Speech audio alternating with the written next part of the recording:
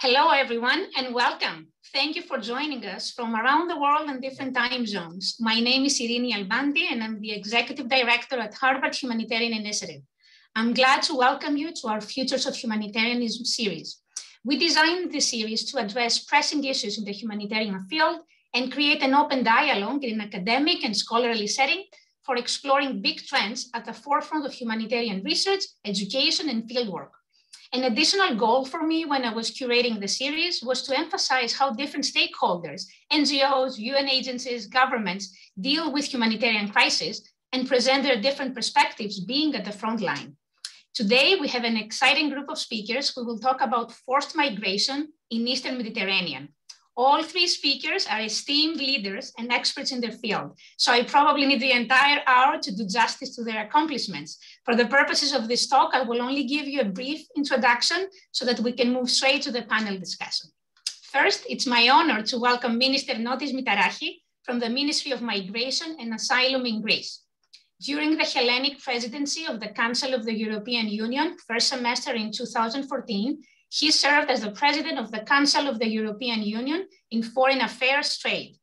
In the period between 2012 2015, he served as Deputy Minister for Economic Development and Competitiveness in Greece. In 2019, he was appointed as the Deputy Minister of Labor and Social Affairs, responsible for the social security and pension system. He also served as alternate governor in the Board of Governors of the World Bank and the European Bank for Reconstruction and Development, and as governor in the Board of Governors of the Black Sea Trade and Development Bank. For me, as someone born and raised in Greece, it's a special honor to have you here with us today. Καλησπέρα και καλώς ήρθατε. Thank you. Thank you so much. Next, Ms. Mireille Girard has served as representative for the United Nations High Commissioner for Refugees, UNHCR, in Greece since February 2021. Prior to taking up her assignment in Greece, she served as representative for UNHCR in Lebanon, Thailand, and South Sudan. Her career at UNHCR spans over 27 years and includes a range of functions, both at UNHCR headquarters in Geneva and in country operations on the Asian, African, European, and Middle Eastern continents. Ms. Girard specializes in international protection and emergency humanitarian responses. Welcome. Bienvenue. Our third panelist, Mr. Gianluca Rocco, has been the chief of International Organization for Migration Mission in Greece since 2017. He has 18 years of experience in the Southeast Europe uh, region, and during his professional career, Mr. Rocco has worked on assisting different government institutions with capacity building and technical cooperation activities, as well as on issues related to border management, refugees, asylum seekers, assisted voluntary return, counter trafficking, de radicalization, and migrants' rights. Welcome. I would like to thank all three guest panelists for their time and sharing their experiences with us. Also to thank their offices and Sabrina Sarli from HHI for helping us coordinate this webinar. Uh, a little bit about the format of the talk. I will spend the next 25 minutes addressing questions to the three panelists and then we will take questions from the audience for another 20 minutes. You may type your questions in the chat and we will do our best to cover most of the questions. Thank you again for joining us and I hope you enjoy the talk. Before I start with the questions I prepared for the panel, I would like to clarify that for the purpose of today's talk, we are mainly focusing on migrants, not refugees. The international legal framework governing migrants and refugees is different. And today we are primarily addressing forced migration. So uh, I will start with Minister Mitarachi. Tell us a little bit about the current context. What are the most pressing challenges in Greece as a European Union frontline country in the Eastern Mediterranean region now that we are facing an influx of migrants? Thank you, Irini, for your invitation and for your very kind introduction. As you know, Greece has faced enormous pressure since 2015. More than 10% of our population an amount of equaling 10% of our population came through Greece 2000, since 2015. A million plus people came through Greece, causing an enormous pressure in the five islands, which have been the islands of first reception, but throughout the country. Last year, we were hosting 92,000 asylum seekers and migrants in 121 locations throughout Greece and in four and a half thousand apartments. So migration for us is a big challenge. The case of Greece is interesting because we are not neighboring conflict zones. So most of the people coming to Greece will not qualify as we call them forced migration. There are people that try to come to the European Union through Greece, departing from safe countries, although many of them may have had um, have been subject to difficult conditions in their original country. Having said that, we need to have a more active stance with regard to migration. I do not think that Europe needs to become a closed Europe. On the contrary, we need more people in Europe, but we should get more people through legal pathways. And in the cases of humanitarian crisis like the one in Afghanistan, we should again allocate people throughout Europe in an organized way. And I'll close my initial remark with this one. We have accepted 100 female uh, dignitaries from Afghanistan recently, members of parliament, judges, uh, lawyers, advocates of civil liberties with their families, approximately 700 people in total. But we accepted these people cooperating with international organization in an organized way, and we're happy to do more than that. But we don't want smugglers to decide who comes to Europe. Thank you. Thank you for these opening remarks. And Ms. Girard, uh, Eastern Mediterranean is one of the most dangerous maritime migration routes worldwide. What are some of the recent policies or changes that UNHCR has introduced to improve the situation? Thank you. Um, well, the Eastern Mediterranean uh, uh, is a dangerous route, but as many other routes uh, are, I would refer to the Bay of Bengal, the Atlantic route. Uh, unfortunately, many lives are lost at sea. And I would like to recall here that you know, no one chooses to leave a country, particularly a person in need, fleeing war and persecution, you know, leave their country with with uh, enthusiasm. I've never met a refugee in my life that was happy to leave this country. Um, people remember that a number of people are fleeing for their lives and they are taking increasingly dangerous route and this is where I would echo the minister in terms of the legal pathway. It's very important that they are that access to protection is made available to uh, people fleeing uh, for their life and needing protection so that uh, they do not resort to increasingly uh, dangerous route. But when people have to save their life, they take enormous risks for that.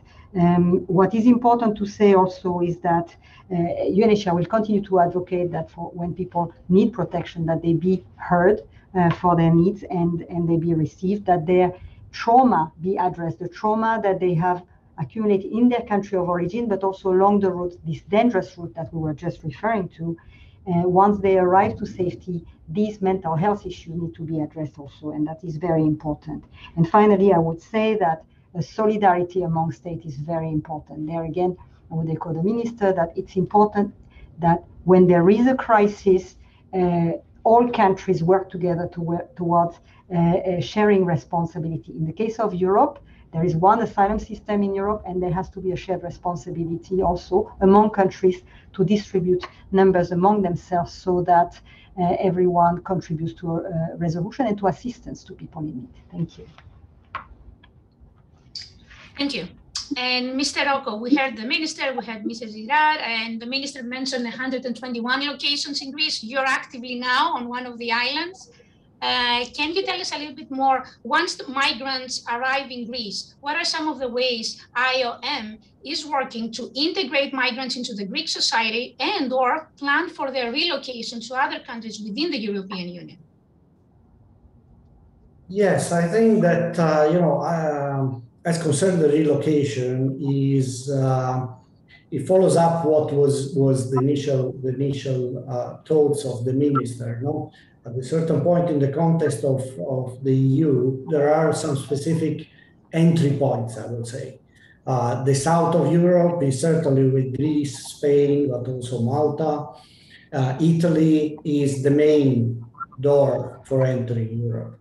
And the relocation is a mechanism to make sure that these countries that are on the front line don't bear the, the, all the all problems that are related with dealing with these massive flows.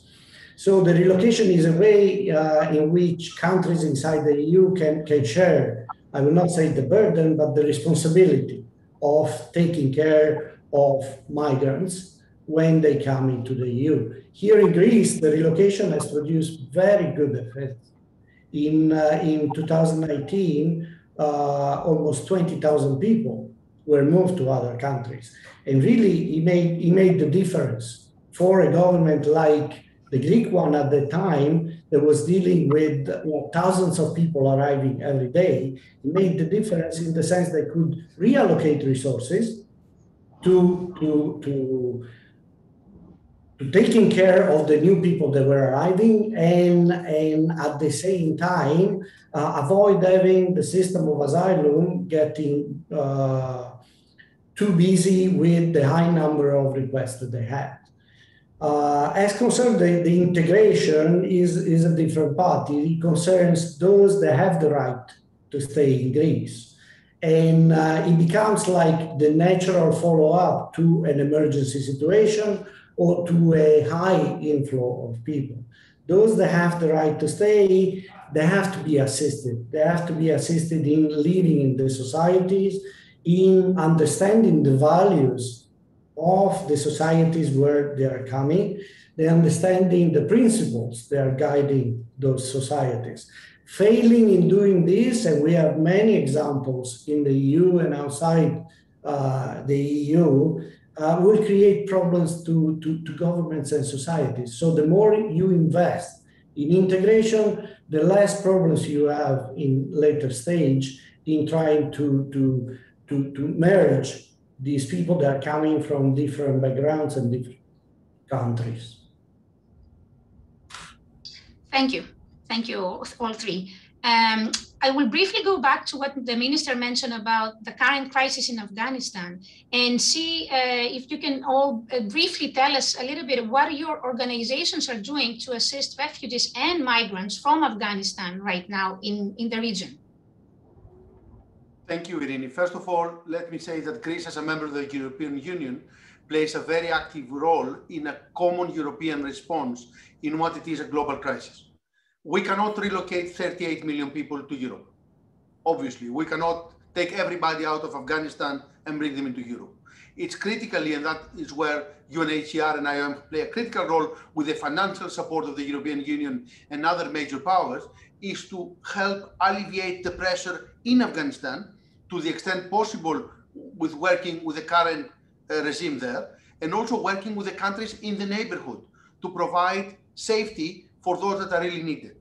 On the others, on top, as I said, we are participating in voluntary relocation schemes for people in need, and we're very happy that we're able to do so. We believe in the need to support. But at the same time, Europe has sent the message that we're not ready to repeat what happened in 2015.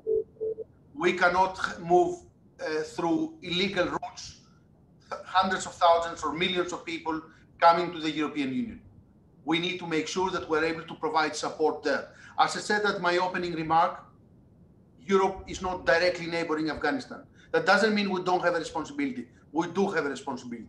But we cannot allow smuggling networks to operate, take money from people to help them come illegally into the European Union. That's something that I think the unanimously the Council of the European Union was negative at our more latest meeting.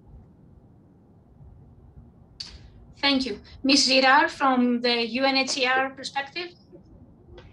Thank you, Irini. Uh, as, uh, as you said, I think the, the, the, priority for humanitarian agency, for the United Nations, and certainly for my organization is at the moment assistance inside Afghanistan. There is a major humanitarian crisis in the making in Afghanistan with 660,000 people displaced internally inside Afghanistan since the beginning of the year uh, and more to come. People are trying to return to their place of origin. Some are some new displacement is taking place.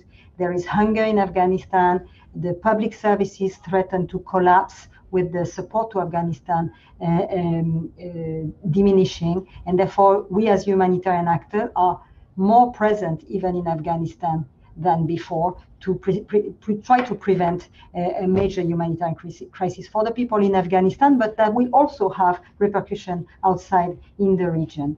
The second point for UNHCR as the refugee agency is to really plead for uh, continued and enhanced support to the countries in the region, Pakistan and Iran, that have been hosting the major uh, numbers of Afghan refugees for the past decades, uh, and but also Tajikistan, Uzbekistan, and other countries, uh, to make sure that they can continue to support the, the, the, people they already host, and if new people come, that they are also uh, uh, equipped and supported. We, uh, we do not see a ma major outflow out of Afghanistan at the moment, but this could happen and it's important to be prepared. There are still an increased number of people having arrived. We do not see increased arrivals in Europe at this point.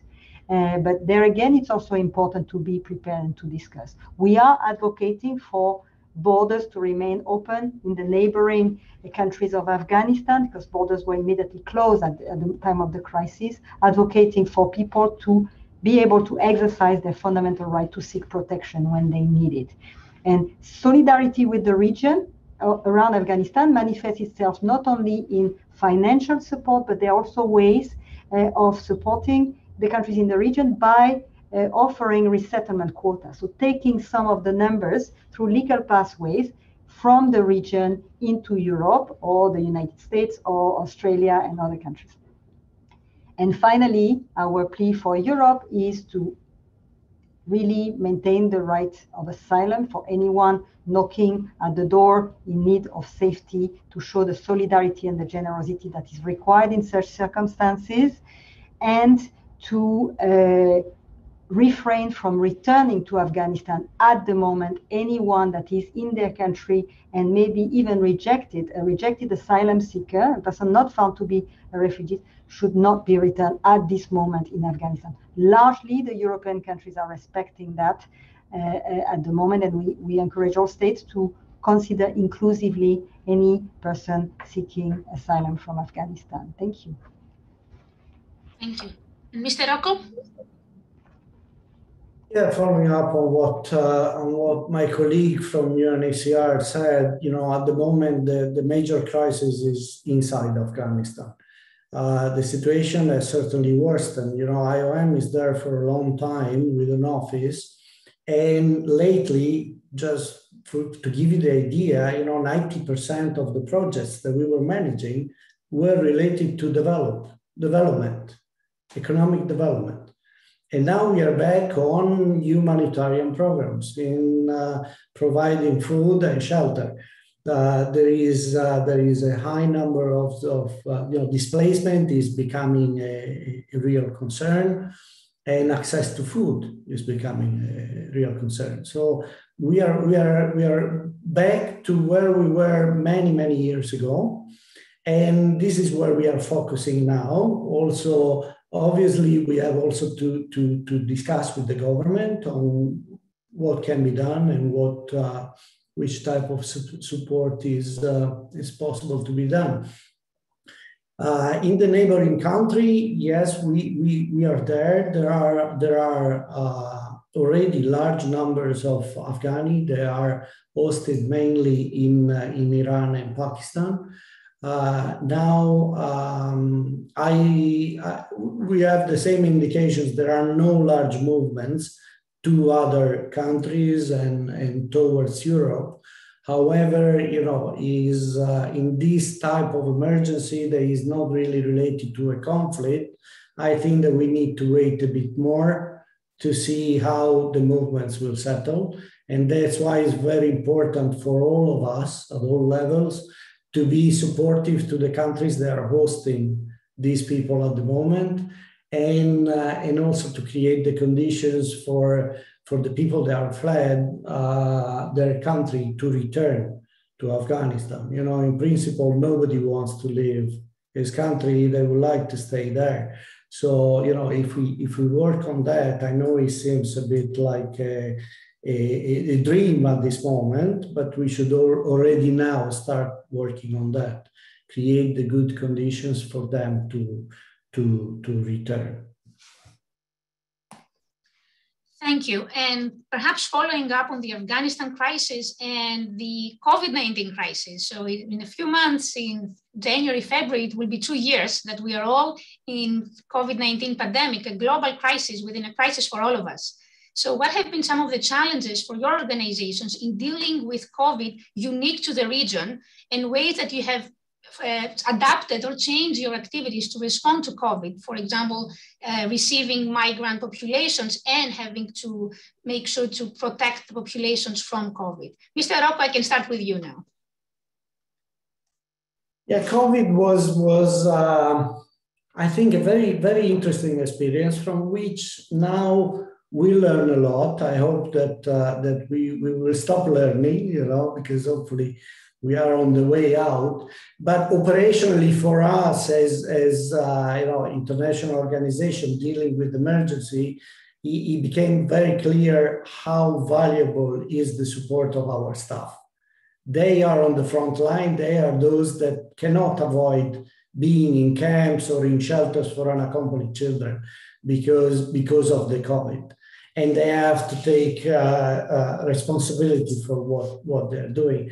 And, and this requires, you know, a, a, a certain type of attitude when you join an international organization. We saw, we were, I, I don't want to say we were surprised, but we were pleased to see that all our colleagues were, were ready to take risks for what they believe and, and to try to assist migrants. I think the overall, you know, my concern or, our concern is that COVID can become another reason for moving movements of people. The fact that if you count, you know, uh, access to vaccination in Europe and outside Europe, or you know, in, in developed countries against uh, other countries or African countries, is is uncomparable. So this disparity might bring people to, to the move because they want to have some some some uh, health uh, coverage or have some some health treatment. So again, you know, if if we continue thinking about our our countries and ourselves, uh, at the end of the day, we, we we have to take into account that more people might decide to come because uh, because of these reasons. So I would like really uh, on this one, you know, that we all learn the lesson that we cannot just take care of, of our, our countries and, and build walls and, and uh, forget about those that are on the other side. Thank you. Ms. Girard? Thank you very much. I think uh, you remember the, the motto, uh, no one is safe until everyone is safe. And I think uh, if the COVID taught us something is that exclusion kills. And uh, the challenge we faced uh, in Greece altogether, the three panelists here, but many more organizations involved in helping uh, in the refugee response and the migrant crisis response was to try to keep people safe in conditions where they were sometimes in overcrowded conditions, keep physical distancing in, a, in an overcrowded camp. This is difficult.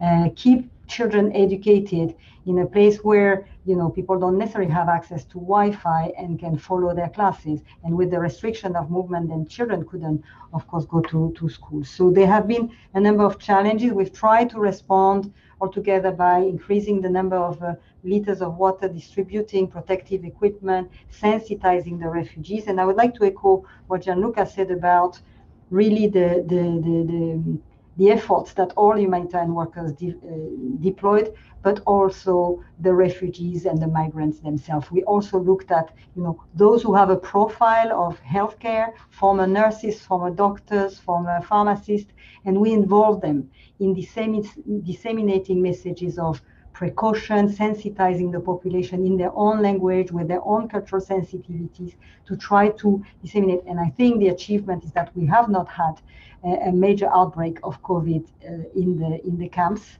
Uh, some cases, some people were affected, but really, uh, in, in, in general terms, there were uh, very few contamination in the camp. Now, the next challenge is, of course, vaccination and what comes next in the next uh, uh COVID uh, in the future of the, of the pandemic. But at the moment, vaccination has, has started in the camp, we need to make sure it covers everyone, including should there be new arrival in the future, that needs to continue. So these were a bit the challenges we face. So far, so good, but we're not out of the woods. Yeah. Thank you. And Minister Mitarachi? Obviously, for us, it was a big challenge. We were hosting 90,000 people at the beginning of the pandemic. Uh, NGOs and international organizations were predicting that there would be massive loss of life in the camps, which did not materialize. We had a very organized effort. We created special arrival centers for new arrivals. We created protection areas within the camp. We trained and uh, help people with testing. We moved vulnerable people out of the islands into hotels in the, in the mainland, working with IOM and also working with UNHCR in many aspects. 40,000 people in the islands, zero loss of life since the beginning of the pandemic. In total, in the 90,000 population we had in Greece, we have recorded four losses of life. Of course, we had COVID incidents. Of course, COVID uh, affected people. And also we had to make sacrifices. Uh, Mireille alluded to the sacrifice we made with education. schools were closed. Local students had Wi-Fi at home. They could connect. The camp did not have Wi-Fi. We were not prepared for that. But now, with the help of the European Union, we're building brand new camps. The new camp in Samos is already operating. The camp in Kos and Leros will open in a month. These camps will be ready not only to tackle a crisis which affect uh, health, but also the implication of such crisis. Interesting point Gianluca mentioned, COVID may lead to a new wave of migration. That's a point we need to follow and we do follow. Thank you all. And it seems that COVID for all of us has been an example of how we can join forces and collaborate to at least reduce uh, or contain uh, the impact and the disease. Um, uh, my next question is um, for all three of you, and it's mainly about the human rights of migrants. And the protection of migrants today is not what it was before. There have been many changes since the Universal Declaration in 1948. And even before the recent crisis in Afghanistan that we discussed, the region and Greece had received migrants from Afghanistan, Syria, and Bangladesh. So, what does the future hold for protecting human rights of migrants in the region? I can start with the minister. Obviously, the EU is driven by the Charter of Fundamental Rights and the Geneva Convention for us is extremely critical. Uh, we need always to abide uh, by the strictest standards of human rights protection. Uh, also, we need to think about how the refugee crisis is evolving. And there is a lot of issues that need to be asked and resolved. There are issues within the European Union. For example, the countries of first reception are talking about solidarity within the European Union. We, we talk about one asylum system, but it's not. Every country in the end has to face the pressure from migratory flows, and that's not correct in a united Europe. We need to have a more open, common protection space. I think uh, that's something that most people would agree to. But also, we need to think about aspects of the of the Geneva Convention. For example, the Geneva Convention says who is a refugee and who is not a refugee. There is international European legislation for that if we can't return those not eligible for international protection in a safe and a dignified manner back home, and of course offer them incentives to be able to go home, then the whole concept of offering international protection is being questioned by public opinion in many countries because everyone very clearly believes about the need to protect refugees, but at the same time we have to distinguish between refugees and illegally entered economic migrants which if they want to come to, the, to Europe or if they want to come to the European Union, they should be able to come, but not through violating our borders. Thank you. And Ms. Girard, um, some comments on this and also perhaps on um, the what I mentioned earlier in my opening about refugees and migrants. Perhaps you have a, a perspective on that. Thank you. Yes, I think the, the, the minister very ably uh, uh, made that uh, that distinction. I think a refugee is a person who is fleeing his country because of persecution on the grounds of his religion, his political opinion, his ethnicity, uh, uh, these kind of causes for, which he's being persecuted or is afraid of being persecuted in his country. Uh, and for that reason, refugees are protected in international law from forcible return to uh, a country where their life or freedom could be at risk. precisely because of their profile, even if they have crossed illegally a country, because they, they, they had a compelling reason to seek safety. So that's a bit the difference between between those those different categories of, of people. Now, I would like to say to your question, Irini, um, that said, despite the distinction, everyone needs to be treated with dignity and and and respect. So and and the international legal instruments are there for that. You mentioned the 1948 Declaration. Of course, there was the Refugee Convention in 1951 and a number of other, you know, international convention protecting the rights of people. In terms of forcible displacement, I must say that we have reached a peak we are now, I mean, the latest figures was 82 million point four forcibly displaced people on the planet, including 26 million refugees. That means people that have that are displaced outside their country, the others being displaced inside their country. Um, the, the, the, the, the reason for, for displacement are complex, they're intertwined, that includes also uh, a number of reasons. And unfortunately, this is not uh, abating. We don't see a reduction in this movement. It's becoming a fact of life. So it's very important that we, as a collectivity of states, organize ourselves to make sure we provide adequate responses to that. Um, uh, you have European law, you have international law, you have national law uh, regulating these uh, these uh, these rights, but also this shared responsibility. I would like to mention one recent initiative in terms of the evolution and how international law adjusted itself to an evolving situation.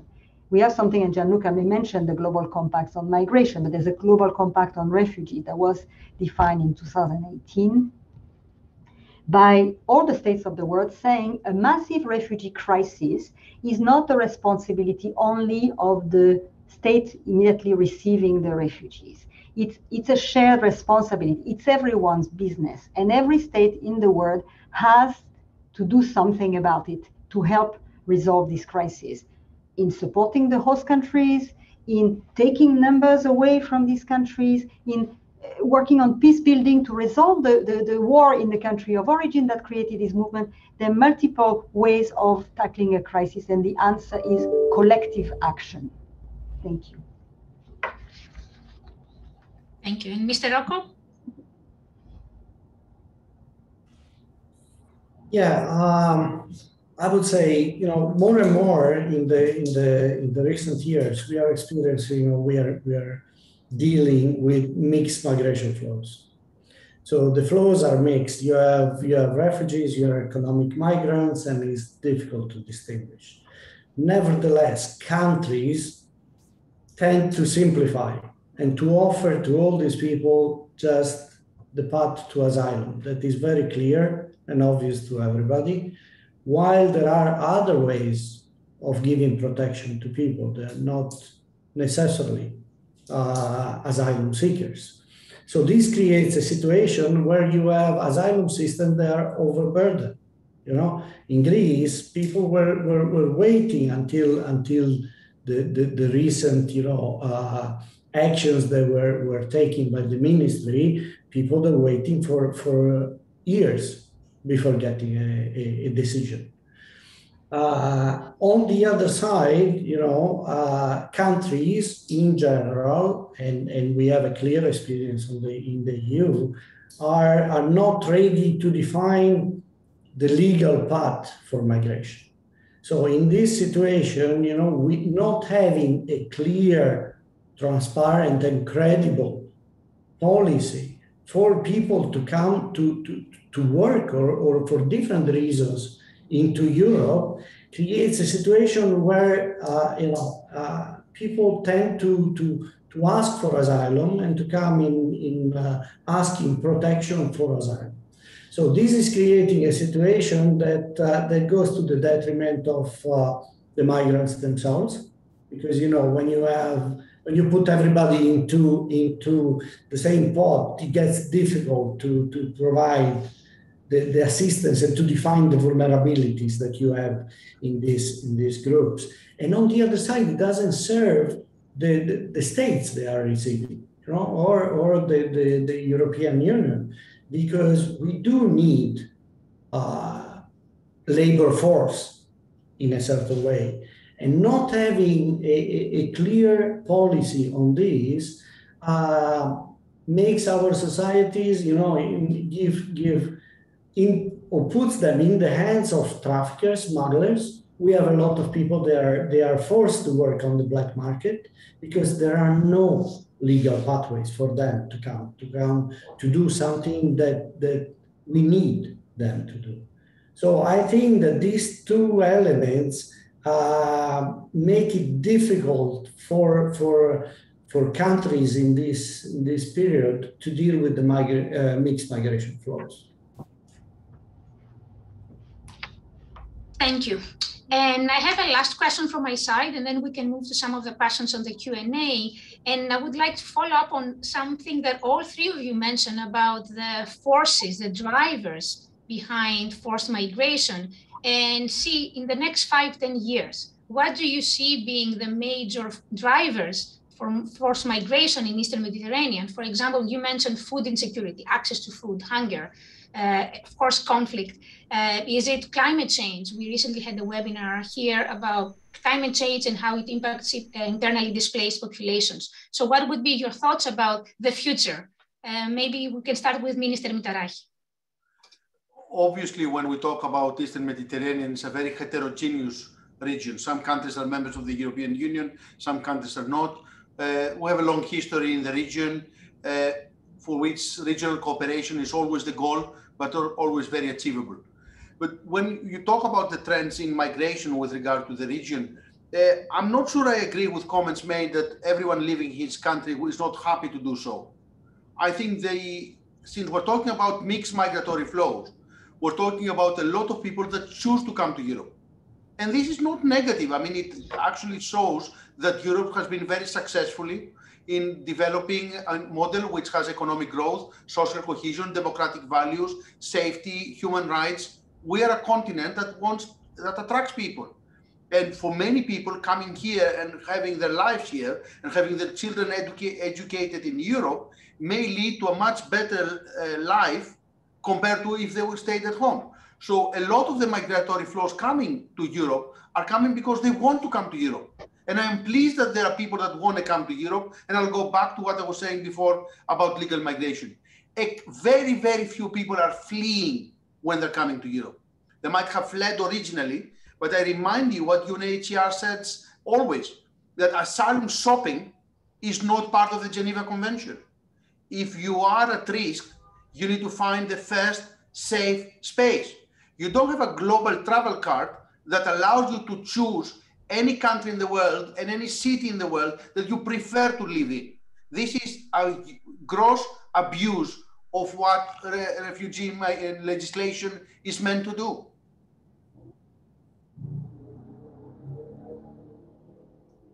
Ms. Girard, any thoughts or follow up on the comment? Just to clarify to uh, to the minister uh, when I said uh, people are not uh, uh, keen to leave their country. I was referring to refugees, people fleeing persecution. So um, that's where I made a distinction.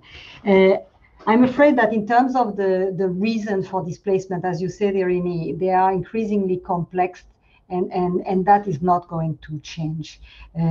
Uh, you mentioned hunger, but there's also climate change issue. You said you had a roundtable on this.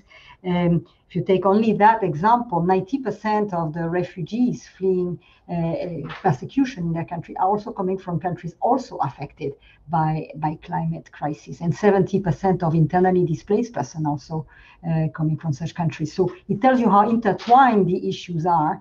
Uh, um, uh, economic issues, political issues, uh, wars, everything is intertwined and and needs to be dealt with with the with you know, great analysis and, and thoughts to provide the adequate answers to the to the to the issues. Uh, our High Commissioner in, in, in a recent uh, meeting at the Geneva level was saying uh, that um, if these trends are not reversed, if we don't take collective action to address the root causes of issues and persecution and, and, and wars, his, his worry is that it's not about uh, we're not speaking about when we will reach 100 million. I, I mentioned 82.4 million before. It's it's not about if, it's about when we will reach this 100 million. So that is a very serious issue and we need collective mobilization. As, as far as UNHCR is concerned, I would say we would certainly see the future as, you know, reinforcing the values that created the 1951 convention and all the human rights values they're based on because they, they are universal and they remain they remain very valid these days more than more than ever. And we should remind ourselves on this.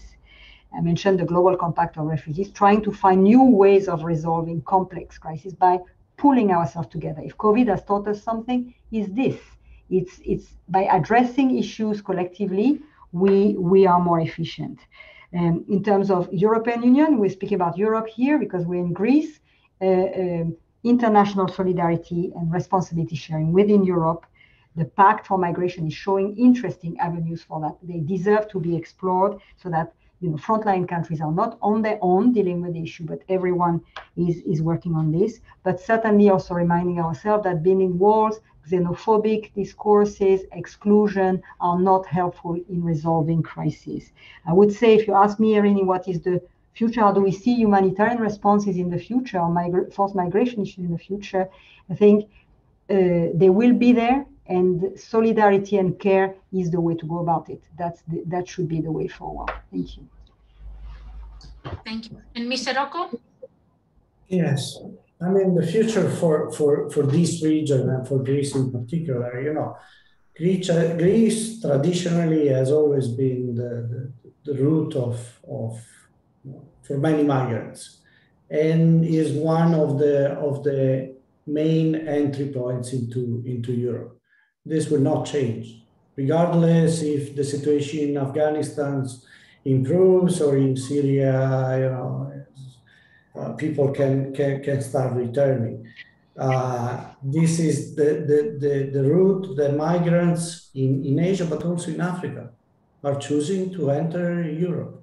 And this will continue. So, you know, is is on us working in Greece, but, uh, but also on Europe to understand that this will not finish. It will continue, and we have to be prepared and we have to, to equip ourselves. You know, the, the the fact that at the moment we have large groups of, uh, of uh, sub-Saharan nationals they are coming to Greece. And if you were observing, you know, the, the, the flows comparing Libya and, uh, and, uh, Greece, uh, you see that when, when, you know, certain groups, in, when it's easier to enter through Libya, they come to Libya. When it becomes difficult because of the local conditions, they move this way or they try to go to go via via Spain or the Spanish islands. So I think that uh, that uh, what we have we have to understand is as Europeans, I will say, is that uh, you know we need we need to find ways to to manage migration. The management of migration includes border police, but cannot be done only with border police. The migration management is a combination of different elements. And if you're missing one of them, then the, the, the, the equation doesn't, doesn't, doesn't have a, a good result, you know?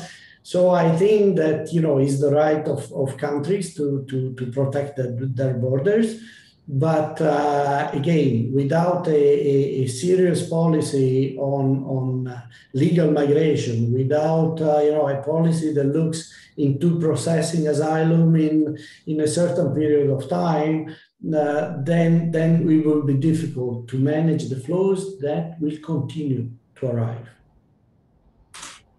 Mm-hmm. Thank you all.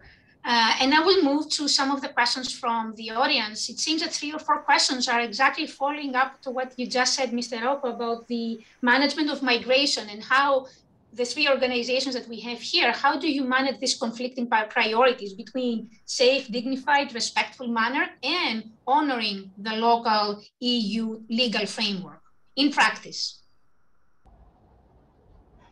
And you can unmute yourself, you can pick, yeah. Okay, Minister, I, I, don't. I see you don't unmute yourself, so I start, and then you please jump in as well. I would say, I mean, the two are not incompatible. I think it was mentioned also uh, for, by the minister earlier. the European uh, legal framework dealing with uh, you know, migration issues or issues of protection of border is also emphasizing human rights principle and protection. So the two are not incompatible. And I would echo what uh, Gianluca was saying. It's about taking all of the above into consideration. It's not mission impossible. It's possible. Many countries are doing it. There's no reason why you know some countries would not do it. So I think it's possible by all countries. There are legal framework, national framework, European when we consider European countries, and international uh, framework and then it's about how to deal with people once they have entered and all the basic uh, rights that we were discussing earlier in terms of um, the basic necessities of life, having their claim uh, reviewed, having their papers in order, uh, uh etc. Integration once they are, when the status is clarified and they have the, the rights to stay in the country, to to start and move on with their life. So they they start uh, they start a life as a, as a regular stayer in, in this country. Uh, all of this is important to, to take into account. So I would say there's absolutely no incompatibility. I think one aspect, the the, the, the border management or people's flow management without the protection dimension is, is incomplete. So the two are uh, uh, working hand in hand. Thank you. Obviously, uh, we need to make sure that we provide all the appropriate resources for people that are coming in our way. And Greece has invested tremendously in the last few years in providing a digital and accelerated asylum system. It is very important. I think that was the first thing I said when I took this role in January 2020, that it's very important that you're able to give a fair decision quickly. So you don't keep people for long waiting in camps so it's critical that the asylum service works fast. And last year we issued 105,000 asylum decisions. The backlog is down to 40,000 pending decisions. That was almost 200,000 uh, two years ago. So we're almost at the end of the backlog. We're building the new camps, which provide respectable living condition for asylum seekers and a good level of safety. And when I talk about safety, most of the violent incidents we've seen historically is within the community. So it's important to protect asylum seekers from differences that sometimes would occur within the camps.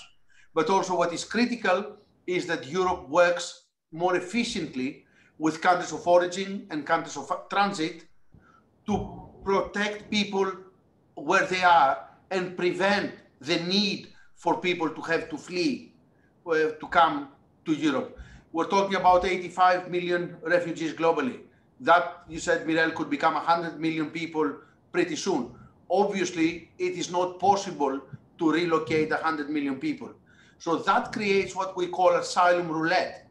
So it is not necessarily the most vulnerable that are offered protection in Europe. It's actually those that manage through the help of net smuggling networks to make it to Europe. So we might be not providing help to those really, really need, but only among those that came to the European Union.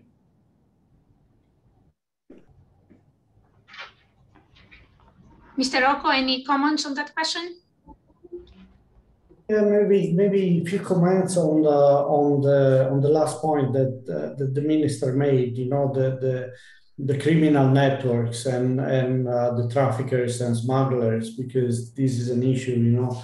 We are we are we are uh, witnessing for in all the regions of the world and uh, it gets uh, very difficult to tackle this issue. It's like uh, you know a, a, a, huge octopus you, you you you cut one leg but you have so many others that are, that are growing at the same time and, uh, and uh, unfortunately, you know, is also an issue of cooperation. It is not always there between uh, police, between uh, between states and neighboring states, and and we witness all this because we see it on the on the migrants. You see it on uh, on uh, you know the families in the countries of origin that have to to invest all what they have and then uh, you know to to to try to to to to move or to have uh, uh, some of their of their migrants in that case uh, moving to to towards a better life. And then he, he creates a whole situation where you know these these people that are arriving in our countries they on one side they are reluctant to, re, to return because they feel ashamed after they were investing so much to go back into their countries and on the other side they get trapped into having to repay certain criminal criminal networks so they are forced to accept jobs and and to to work uh, illegally in our countries. So this is an issue that you know is I understand is very difficult to tackle, but is key if we want to to promote you know a, a legal migration and to be able to to assist the, those that really need assistance or or or deserve to be assisted. Thank you all. And I know we have a few minutes left. Usually I like to end with a note of hope. And I see some of the questions are, are not really on the legal framework or the government guidelines or what the convention says. It's really about uh, public perceptions, public opinion, social values. And one of the members of the audience puts it as what can be done to keep the hearts of the people open to accepting those in need? So it's more about the society and the public. And for us being an academic research organizations, this is part of what we do. We're exploring, we are researching what are the knowledge, perceptions, attitudes, how can we change policy? So what are some of your thoughts, uh, especially looking at the future in something hopeful? Irene, if I can go first. Uh, Yes. I think what is critical is that you need to persuade public opinion that people arriving are really people fleeing and people in need. We've, we've done a poll in Greece some time ago and we asked people, would you accept refugees? And most people said yes. When you asked them wh whether you'd accept illegal arrivals, most people said no. So the problem is persuading our public opinion that those arriving are really genuine refugees and they're not coming as part of mixed flows. And this is important to make sure that we're able to return those that are not coming in a regular way to give more emphasis to those in need. If I can just say one more word, I was looking at the chat. There's a very interesting point. There's a question, what went wrong uh, or not right at the international level for allowing this increase of the number of refugees? And the answer is political, but it's an, I think it's a big topic for discussion. It is global imbalances. And there are differences in the political situation, in the human rights regimes in many countries. And international cooperation plays a role but fortunately or unfortunately, there is a limit to the ability of the so-called developed world to intervene. And you see in the attempt that we had in Afghanistan after 20 years, it didn't work. So the ability of imposing our political system to other countries is not acceptable. But at the same, this is not something we accept. Every country has a full right of self-determination. And this is a basic right for every people. But unfortunately, we see many countries creating conditions or ending up with conditions that lead to refugees. And that's a very difficult issue to resolve.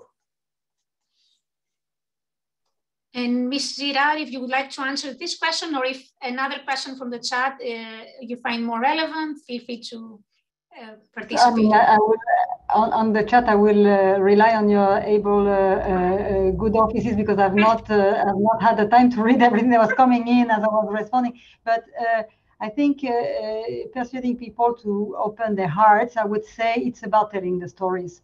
It's really about telling the stories.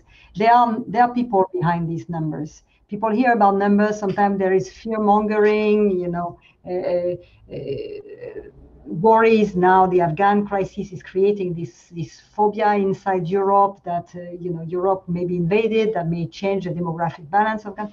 Well, we don't have any arrival yet, so so and we may not have any uh, you know arrival by by foot and, and and and just have the evacuation. For now, this is what we have.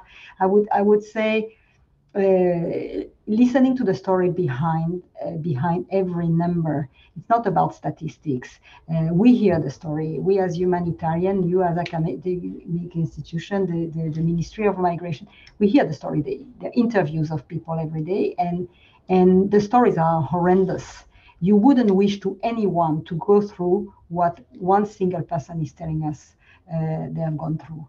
Um, that creates empathy. When when you realize and and i must say also there are some very important gestures of solidarity by the refugees themselves. We've seen in greece for example there was last winter uh, mudslide at some point. There were fires this summer. First thing you see refugees mobilizing themselves to try to support the municipalities that were affected because they were saying we were given a chance it's it, it's only fair that we try to contribute everything we can in the response in maybe cutting the dead wood etc to to try to uh, reforest an area or, or, or prevent mudslides. So uh, you know hearing the voices showing the stories you as an academic institution you can also contribute to disseminating uh, the reason why people are fleeing and the skills and the talents and the energy and the goodwill uh, they are ready to deploy to a country that is offering them a second chance.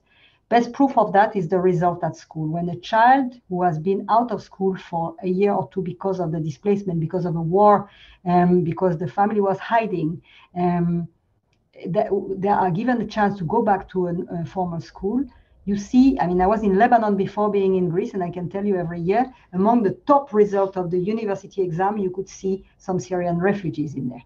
They got a chance and they maximize it. So um, giving a chance to people, and it will it will uh, it will produce result by itself. Thank you.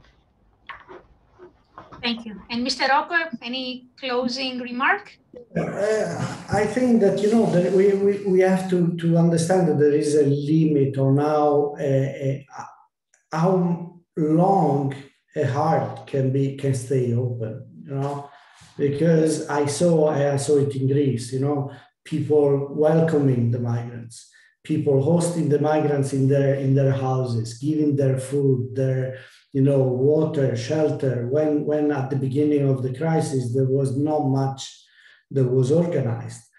And uh, but this has a limit you know? If if we don't manage these flows and we leave it to the people, then we just fuel uh, xenophobia and, and we bring communities apart. We have clear examples in major capitals in Europe where, you know, the fact that we were we were leaving the people by themselves, and after after assisting, supporting, but not in an organized manner, we we we left them alone. And now you have part of cities that are out of control. You have communities that live like, like in different countries. So this is this is the risk, you know, to count too much on the on the good heart of the people. If we don't follow up with with a system, and people see that that there is a system for taking care of these people, then we we we experience, uh, you know, people that will not be able to integrate. We experience uh, criminality because there is no other way for them to access, you know, uh, food and to, to, to get money and to find a job. So we, we, we need to make sure that the good heart is complemented by a mechanism that will take care of these people. Great, thank you for the last point. And I know we have more questions on the chat, but we are out of time. I would like to thank all three panelists. This has been a great engaging discussion. I'm sure we can have a full day and we can still be talking.